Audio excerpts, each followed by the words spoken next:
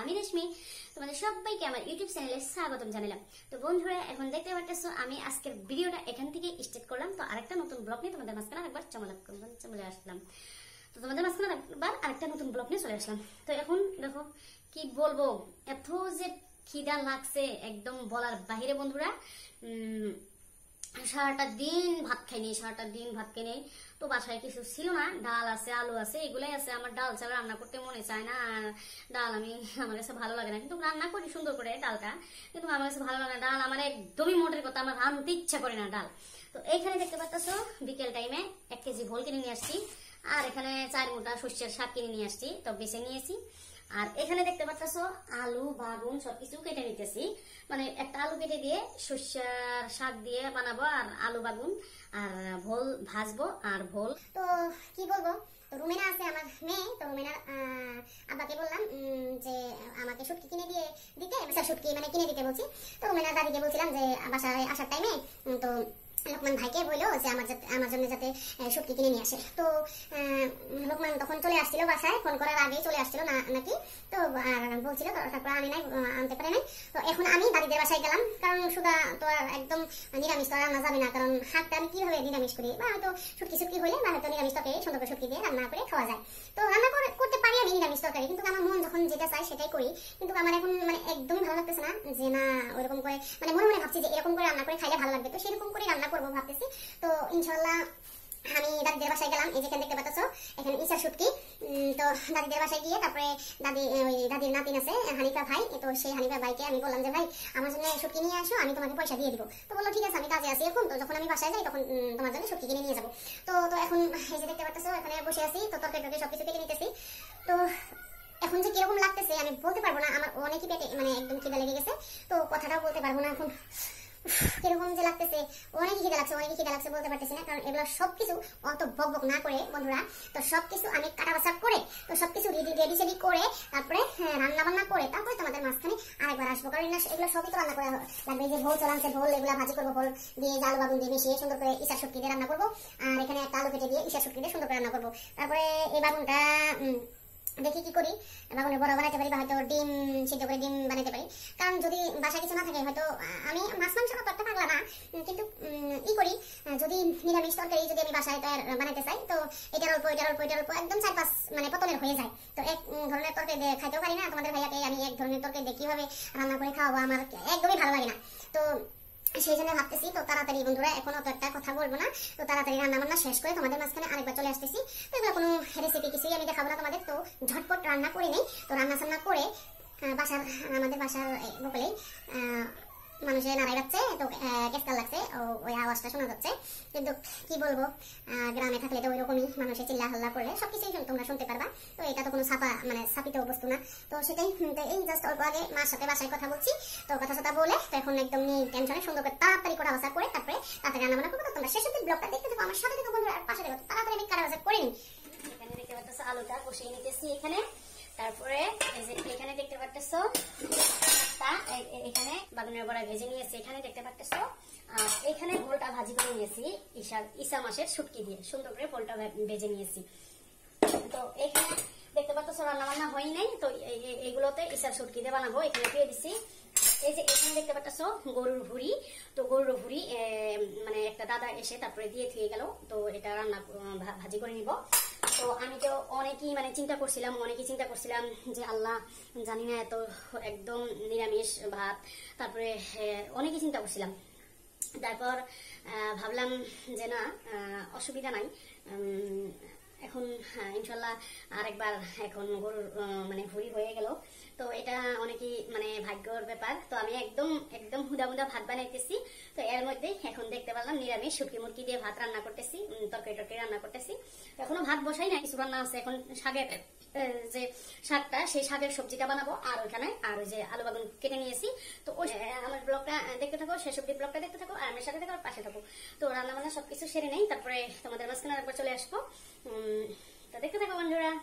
তো সবকিছু রান্না করে নিই, রান্না করে দেখি কার কীরকম স্বাদটা হলো। তো আলুটা এখানে দেখতে পাচ্ছ হয়েছে আলুটা অলরেডি কষানো হয়ে গেছে।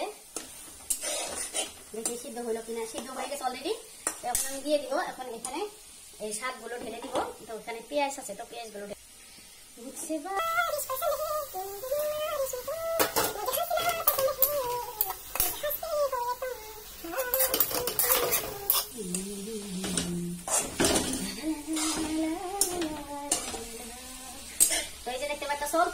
শাক, বেশি শাক নিয়ে নেই তো কম করেই কিনে নিয়েছি চার মুটা শাক আনছি। একদম ছোট ছোট, একদম চিকন চিকন চার মুটা শাক। তো এটা সুন্দর করে এখন কষিয়ে নিতেছি। কষিয়ে এটা বেশি একটা ঝোল দিব না দেখতে পাচ্ছ কষানো হয়ে গেছে। বেশি একটা কষি খাব না। এটা হচ্ছে শস্য জি, শস্যর শাক এটা একটা শস্যের শাক কয়। আর এই দেশের মানুষে বলে কি? সৌরা শাক। কিন্তু আমরা শস্যের শাক বলি, শস্যের শাক।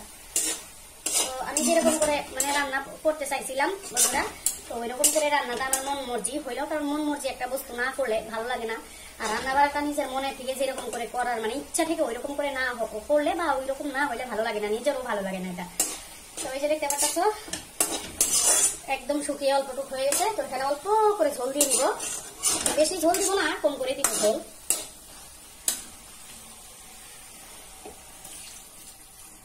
হয়ে গেছে তো উম, বেশি একটা ঝোল দিই নাই, বেশি একটা ঝোল অ্যাড করি নাই।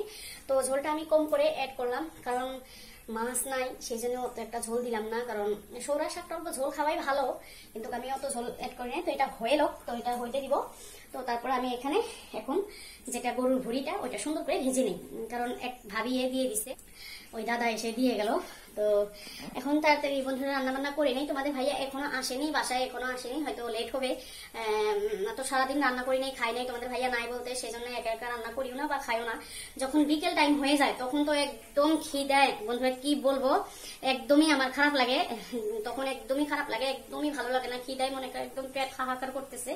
তো তাড়াতাড়ি রান্না বান্না করে শেষ অব্দি তোমরা ব্লগটা দেখতে থাকো, আমার সাথে পাশে। তো এই ফাইনালি আমার রান্না বান্না হয়ে গেছে। আর এই যে দেখতে ভাতটা বেড়ে তো বড়া, এখানে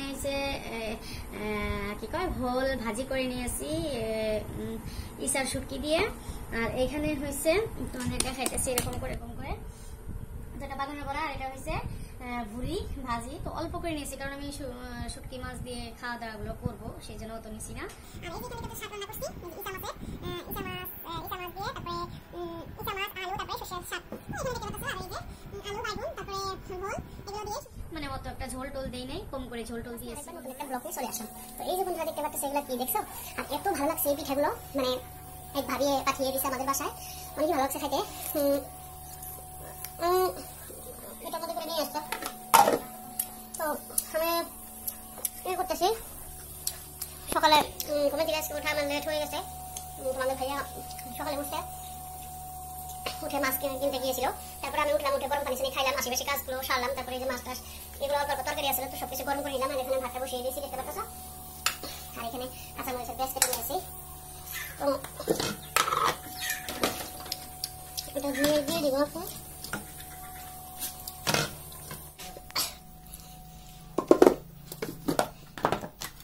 পিঠে বলো তো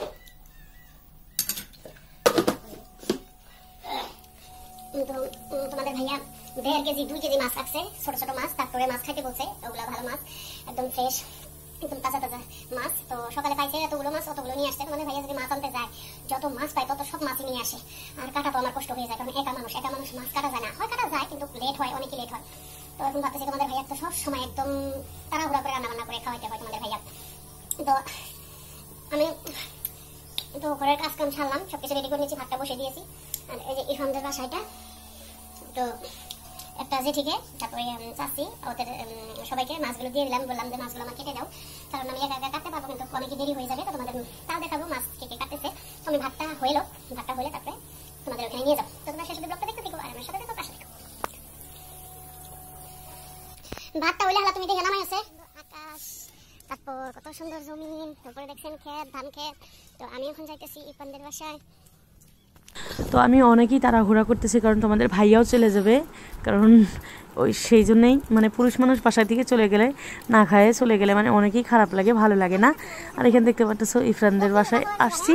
তো ওরা মাছ ওদের কাটা বাসা হয়ে গেছে, এখন কাটতে মানে কেটে ধুইতেছে। তো আমি বাসায় নিয়ে সুন্দর করে পরিষ্কার করে আরও বেশি বেশি করে ধুয়ে নিব।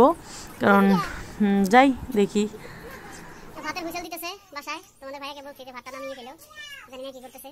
অফ করছে না নাই। আর মাছ, কতগুলো মাছ, চারজন মানুষ কাটছে। তো ধুয়ে সে নিয়ে আসতেছে, আমি এখন নিয়ে চলে যাব। তো মাছ নিয়ে তাড়াতাড়ি করে বাসায় চলে আসলাম। এখানে দেখতে পাচ্ছ মাছ বেছে দুই পতনের করছি।